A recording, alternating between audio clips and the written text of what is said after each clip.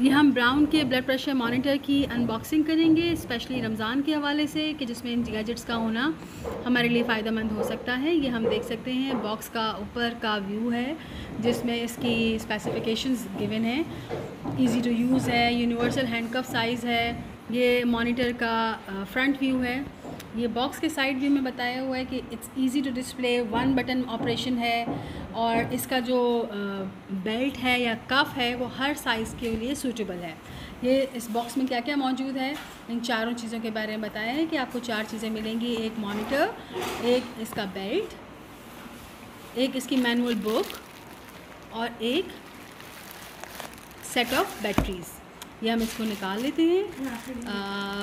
Packet में से बाहर निकालते हैं। ये हमने देखा हमारा मॉनिटर आ गया। ये इसका फुल फ्रंट व्यू डिस्प्ले है। इसमें एक बटन नज़र आ रहा है। सिस्टोलिक डायस्टोलिक और पल्स रेट आपको पता चलेगा। सिस्टोलिक जो ब्लड प्रेशर है इसको आम फहम में हम ऊपर का ब्लड प्रेशर और नीचे का ब्लड प्रेशर कहते हैं। तो ऊपर का ब्लड प्रेशर जो सिस्टोलिक है इसकी नॉर्मल रेंज 90 से 120 के दरमियान होनी चाहिए, जबकि डायस्टॉलिक की रेंज 60 से 80 के दरमियान नॉर्मल कंसीडर की जाती है।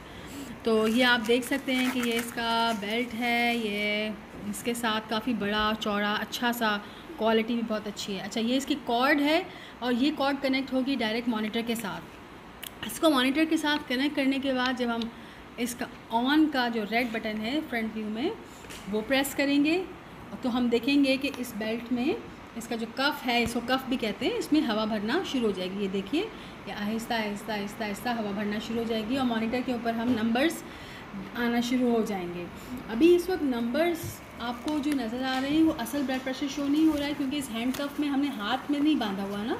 सिर्फ़ वैसे ही आपको डिस्प्ले के लिए मैं दिखा रही हूँ किस तरह इसमें हवा भरना शुरू होती है। तो ये इसका टोटल सेट है, जिसमें ये चारों चीज़ें हमें नज़र आ रही हैं, इसकी बैटरी